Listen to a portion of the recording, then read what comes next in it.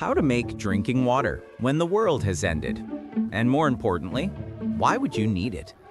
Because your bottled water's gone, your filter's melted, and your throat's drier than diplomacy.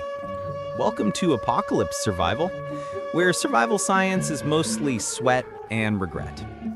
The rivers glow, the rain hisses, and even the fog burns your lungs. No clean water, no power, no mercy. But steam, steam doesn't care. It rises. It leaves the dirt behind. So, we chase the clouds. Literally.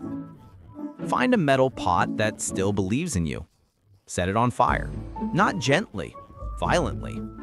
Hold a broken glass bowl over it, or a car window, or your sanity.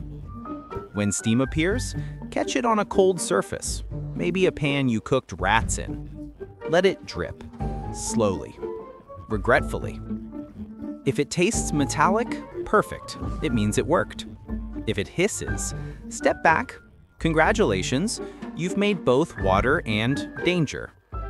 If it smells like smoke and survival, perfect. That's survival science. Steam leaves impurities behind. The vapor is clean until it touches your filthy container. Condensation is just nature's apology for nuclear rain.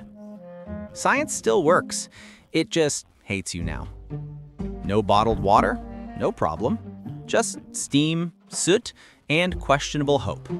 That's survival hack number five. Next time, we'll make fire out of frozen despair.